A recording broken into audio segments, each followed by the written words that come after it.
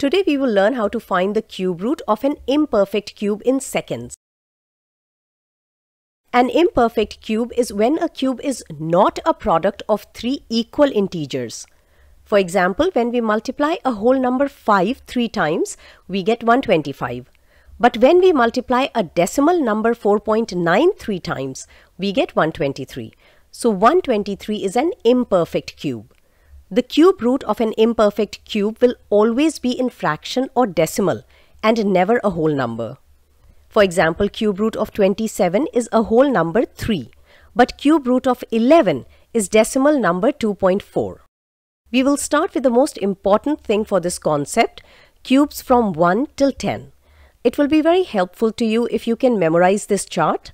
1 cube is 1, 2 cube is 8, 3 cube is 27 and so on and so forth. Here we have to find the cube root of 12. Referring to our cheat sheet, we can see that the closest cube to 12 is 8. The corresponding number to 8 is 2, so we will write 2 in the equation box. Next, we have to find the difference between 12 and 8. So 12 minus 8 is plus 4. Since 12 is more than the cube 8, we will add 4 to 2. Moving on, we will divide 4 by 3. This 3 is common in all questions, meaning we will always divide by 3 only. Now we will find the square of 2. So square of 2 is 4. We will multiply that to 3. So our equation is now complete. All we need to do is solve it to get our answer. 3 times 4 is 12. 4 divided by 12 is equal to 0.33. 2 plus 0.33 is 2.33. So the cube root of 12 is 2.33. In this example, we have to find the cube root of 61. Again, from our cheat sheet, we can see that the closest cube to 61 is 64 and the corresponding number is 4. We will write 4 in the equation box.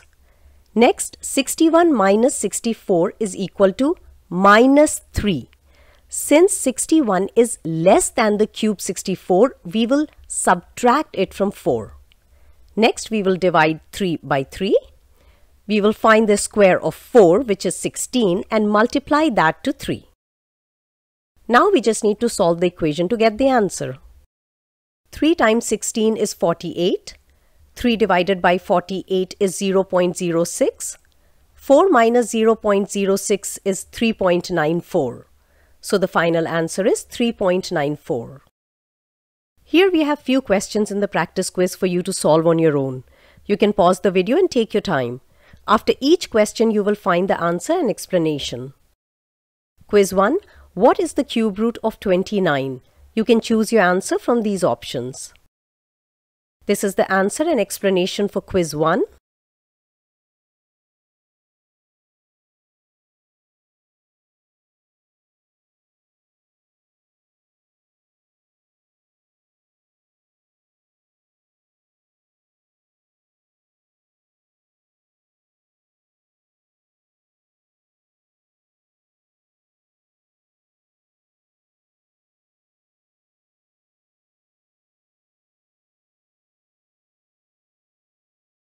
Quiz 2.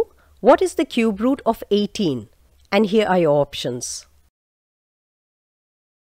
Here is the answer and explanation for quiz 2.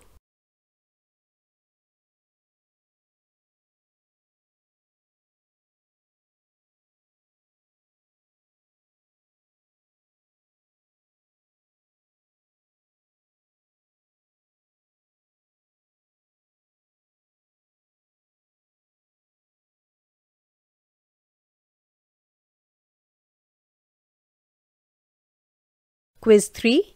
What is the cube root of 67? And this is the answer and explanation for quiz 3.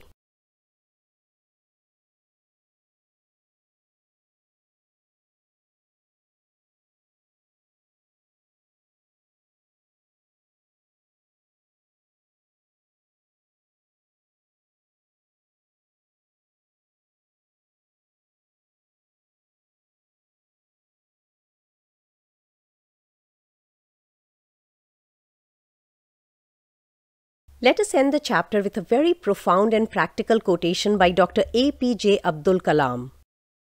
You cannot change your future, but you can change your habits. And your habits will change your future. Thank you and take care.